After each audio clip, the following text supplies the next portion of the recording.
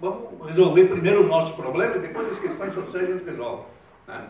Ou, é, com alguma migalha, ou mesmo com a polícia, né? com a repressão, com a violência, o estreitamento dos espaços para o protagonismo das pessoas. Nós estamos vivendo esse momento do país. Né? Tivemos 14 anos não é, de, um, de um processo de mudanças significativas na qualidade de vida do povo brasileiro.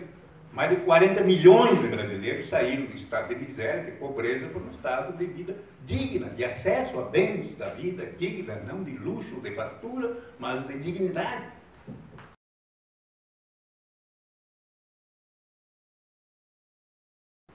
E hoje estão exigindo de todos os países, esse grupo de empresas, né, mudanças sérias nas legislações sociais trabalhistas. Né? E não é aqui está acontecendo, né? nós estamos sentindo isso, esse problema com o tal de governo provisório, esse resultado do impeachment, não é que previsto na Constituição, mas não tendo não é, tipificação do crime, é golpe. Através disso, eles estão impondo aqui, não é, o, o, o, o modelo neoliberal que mesmo lá na Europa e mesmo nos Estados Unidos estão numa crise esse modelo. Então se abre perspectiva dessa crise lá deles né, ser não é, jogada para nós. Nos ombros de quem? Evidentemente do povo, tá? do povo e particularmente do povo mais, mais necessitado de um Estado funcionando bem e melhor, não para poucos ou para alguns, mas funcionando bem e melhor, isso é o controle público e não sob controle privado, para a maioria da população uma luta para uh, recuperar o mandato da Dilma, uh, ou ter o Lula para ser o nosso candidato na próxima eleição. Não seria importante, mas é, para mim não é o principal nem o essencial. É, para mim o jogo está jogado do impeachment disfarçado de golpe, ou o golpe disfarçado de impeachment. A Dilma não volta né, para a presidência. Se voltar, não tem capacidade de governar. A não ser que dissesse, eu vou sim é, constituir um governo para executar o programa né, que me elegeu em 2014.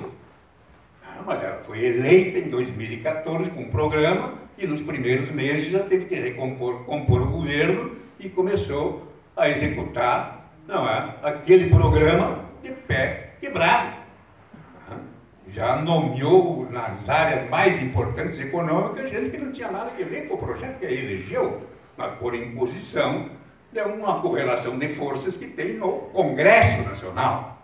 E quem é que compõe a correlação de forças no Congresso Nacional? Não é o Executivo, é o povo brasileiro através do voto. é isso? Nós temos o Congresso que temos porque o povo tem eleitos que estão lá. E eleitos de que forma? Então tem a, a, reforma política que nós devíamos ter feito nos primeiros meses do primeiro mandato do presidente Lula. Não fizemos. Ah, então a estrutura de eleição continua sendo aquela, que predomina o poder econômico, ah, as artimanhas, o toma lá da cá. Tanto que a, a, a correlação de forças do Congresso no primeiro mandato do Lula estava mais ou menos. Ah, bom, agora no segundo mandato do Lula vai melhorar. Piorou. No primeiro mandato da Dilma, essa correlação de força se, se tornou pior porque estava ruim. Ah, e agora a última, então, é o Congresso, esse que nós vimos aí. Eu não sou dessa que os fins justificam os meios. Né? Às vezes é preferível perder, digamos, por causa de uma eleição, seja numa entidade, seja no partido, é? do que ganhar mal acompanhado.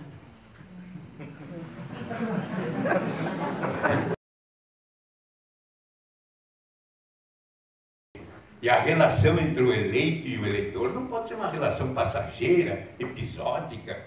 Nós não queremos ser cidadãos, cidadãs, eventualmente, de quatro em quatro anos, de dois em dois anos ou resumir a nossa cidadania naquele momento sagrado em que tu não é vota. Não, aquilo, esses são momentos importantes. Eleições são coisa importante, tanto quando uma ditadura se instala, a primeira coisa que acabar com as eleições. Né? Então, eleição é coisa importante, séria. Mandatos eletivos é muito importante. A gente quer ter representantes nossos. Então, a gente quer que nos representem e não nos substituam. Então, a gente tem que estar né, sendo cidadã, cidadão, antes de votar, no votar, depois de votar, e nos organizando na sociedade, estimulando as pessoas a refletir, a pensar, a participar, a ser solidário, a discutir temas, e não só o da frente da minha casa, fazer da, é? fazer da política a construção do bem comum como protagonismo das pessoas. E do Estado, né? o Estado, para funcionar bem, né? e não para poucos ou para alguns, o Estado, e o Estado não é só o executivo, o Estado é executivo, legislativo e judiciário. E não só federal, é federal, estadual e municipal. Esse é o Estado brasileiro. Ah, essa estrutura ah, que tem funcionado numa lógica não é, de, ah, de, de controle dos grupos mais poderosos, de interesse, latifúndio, banqueiros, grandes empresários e os seus executivos, esse Estado tem que funcionar bem e melhor, né, com protagonistas novos, o povo organizado, suas lideranças, os seus movimentos. Então, o Estado brasileiro né, tem que estar sob controle efetivamente público né, e não controle do governante, dos seus amigos, dos seus partidários, dos seus familiares. Isso é o processo democrático, é por isso que a gente quer a democracia. A nossa luta é uma luta pela democracia, não apenas como um texto de lei, que é importante, a Constituição, né? ou um bom discurso. Né? É, tudo isso é coisa importante. Mas não o essencial, o fundamental é que a democracia possa ser vivida no cotidiano por milhares de pessoas né? na melhor distribuição da renda, na nas oportunidades de vida digna, no lazer, na escola, na educação, é? na visão é, holística do mundo, no respeito uns aos outros, em especial à mãe natureza. Nós precisamos, portanto, evitar esforços enormes para, partir da nossa luta local, regional, é? podermos é? fazer a semeadura das mudanças. Às vezes a gente semeia, não para colher, no outro dia. Né? Pode colher até bem mais adiante. Né? Ou nem está neste mundo na hora da colheita.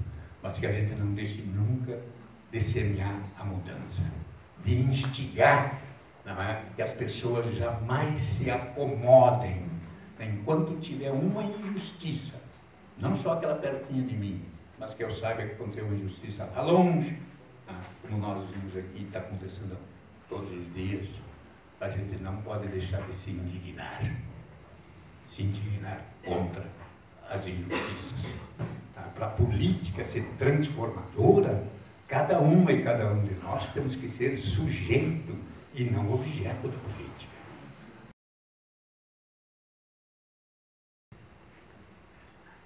É lutar por um mundo fraterno,